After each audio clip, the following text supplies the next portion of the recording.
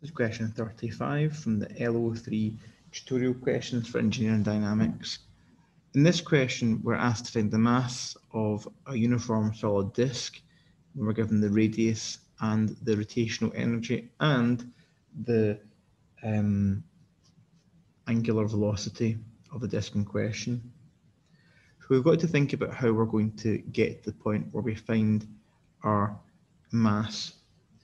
Well, when we're dealing with angular velocity um, and uh, angular motion, mass um, we find in this formula here, which is I is equal to m r squared um, over 2 since we're dealing with the full radius. However, although we have the radius, we don't have the moment of inertia, so we need to find that first. And there's another formula we can use involving moment of inertia, which is this one here. The rotational kinetic energy is equal to half times moment of inertia times omega squared.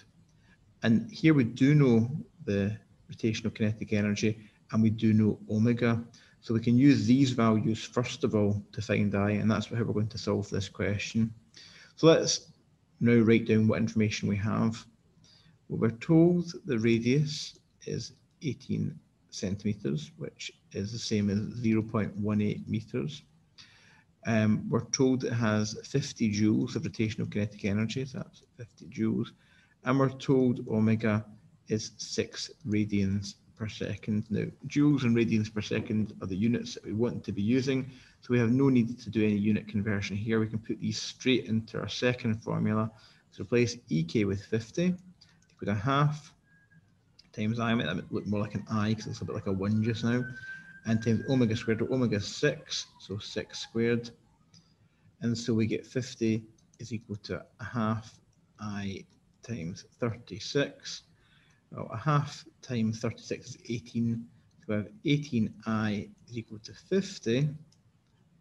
And so I is equal to 2.778. That's rounded to three decimal places. And remember our units for I, kilogram meter squared. So if we go back up to the top, we can see this formula for I equals mr squared over 2. We now have I, we were given R on the question, so we can now use this formula in order to find the mass. So let's do so. So I is equal to mr squared over 2. Um, let's put our values in here. So we have 2.778 for i is equal to m times r squared. And if we remember that r is 18 centimeters, so it's 0.18 meters. So we'll put this into our formula, 0.18.